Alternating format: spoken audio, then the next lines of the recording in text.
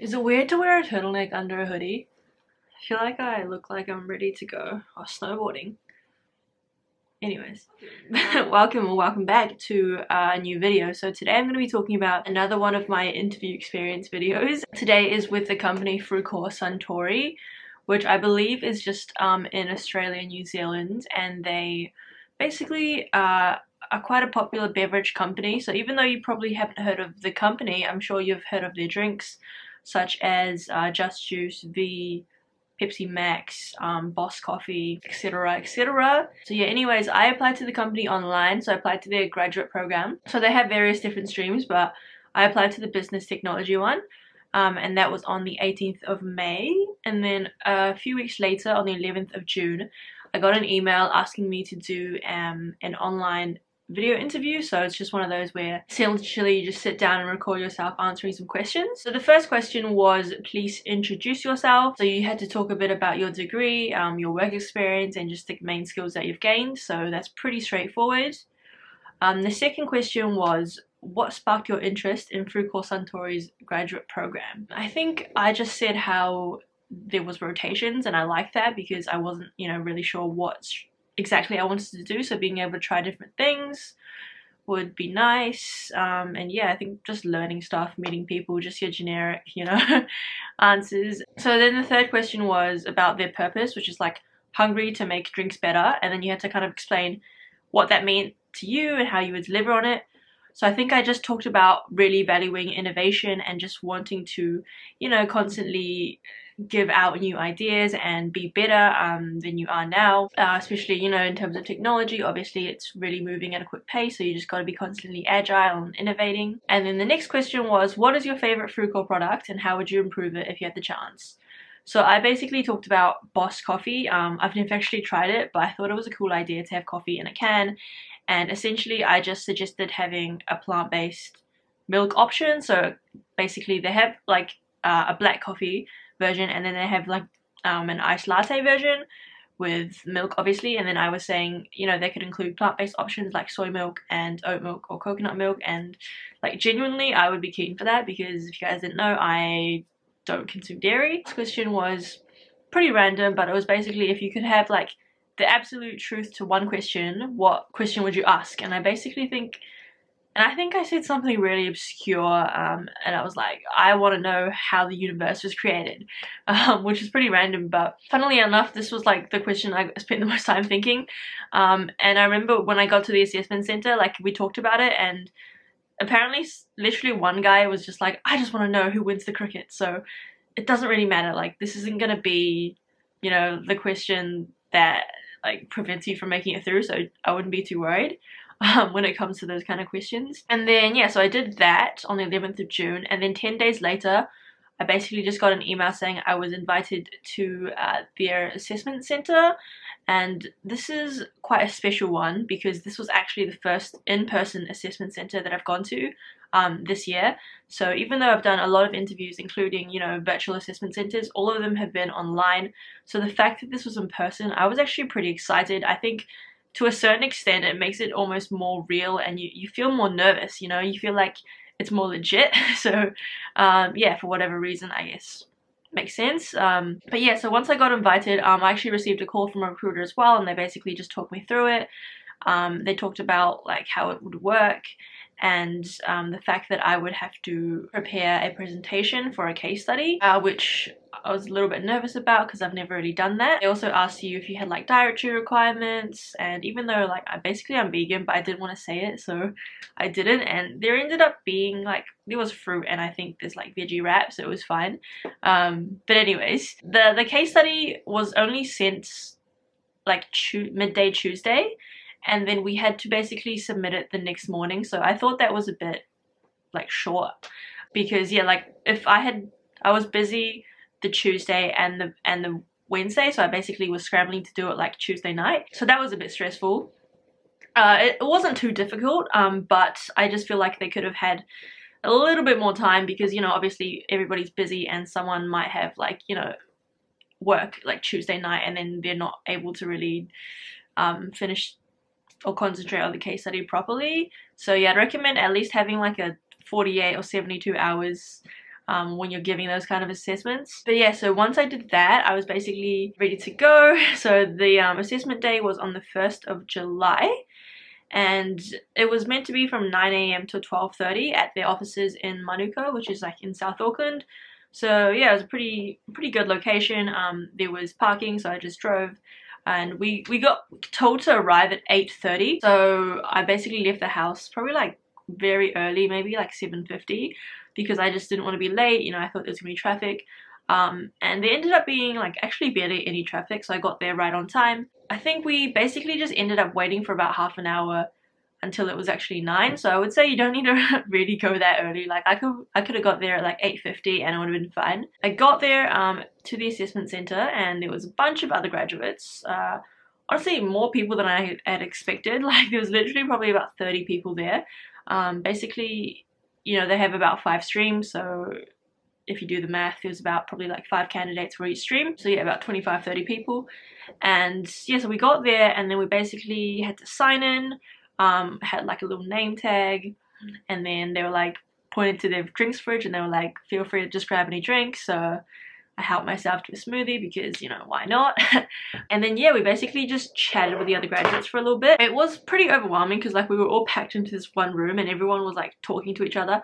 Um, and it was quite funny because I actually recognized some people that I knew like from middle school yeah like intermediate I want to say and then one other girl that went to my uni um, which is funny, but I guess, you know, Auckland is kind of a small, small place. And yeah, I didn't mention this, but when the recruiter was telling me about the assessment center, she told me that the graduate salary was 53,000 uh, a year. So I thought that was like, it was okay. It was like, it was decent. Um, it wasn't, you know, anything amazing, but I thought it was nice of her to like let me know the salary because I don't think any other place has told me like what the salary is um, before an interview. Once I got there, we basically went into this room at about 9 o'clock and then we got um, a little briefing. Um, we got told about, you know, what's going to happen and then we got a little introduction to the company, had to like watch this video. Um, we also got given goodie bags, which was nice. There was about like four or five cans of their various um, drinks, so like V, Pepsi, you know, all that stuff. Um, and then we, yeah, so we got it split up into groups. And so their, their graduate program has five different streams. And so our groups, I think we were like one person from each stream. We were sat down at a table and then we just had to do like a bunch of, um, you know, group exercises. So one of them was building like this tower with spaghetti and with like balance a marshmallow on it. So it wasn't too hard. It was more just like, you know, you just gotta contribute, um, talk, but don't talk over people and yeah, I mean, I don't really have an advice. It's kind of like common sense, I guess. Then after we did that, um, we broke off into our actual stream. So like the business people were, you know, the, with the tech people were together, um, marketing people were together, like, you know, supply chain people were together.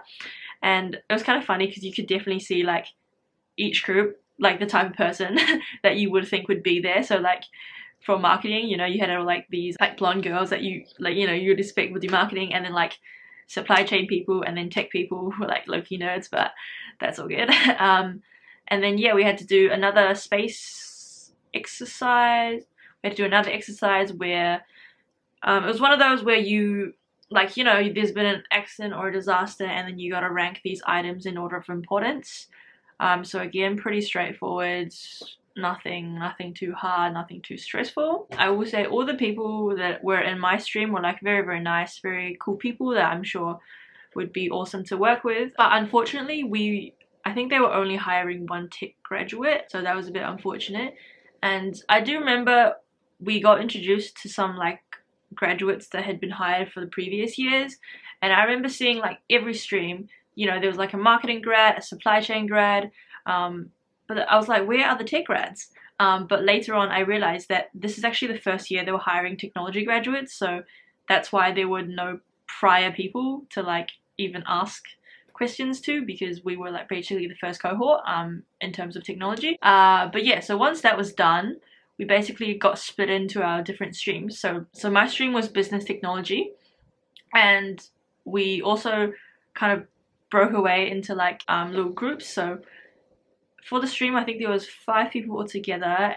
So two people presented and then three other people were like in a room and then we basically just talked to some uh, of the current like employees there and we are basically just asking questions getting to know people.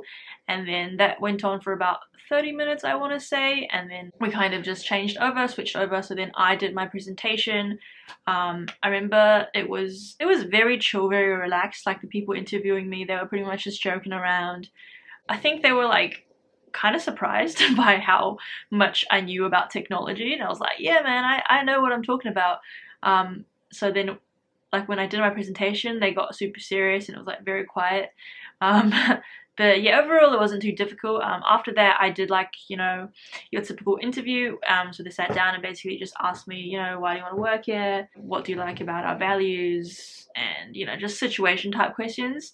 Um, so I did that. And then at the end they asked me, you know, do I have any questions for them? And I was like, nah, I feel like this was probably a mistake because, you know, obviously you want to see more engaged and ask questions. But to be honest, at this point, like, okay, I'm, this is going to sound arrogant, but I almost felt like I didn't really want to work there. So I, I didn't really need to try because uh, don't get me wrong, like everyone there was lovely, but I felt like, especially the fact that they were only hiring one technology person and this was like the first year, and the people that I spoke with we're basically just complaining how like they're they're very understaffed and they basically just have no budget for like technology at all. So that kind of I guess didn't leave a great impression for me personally.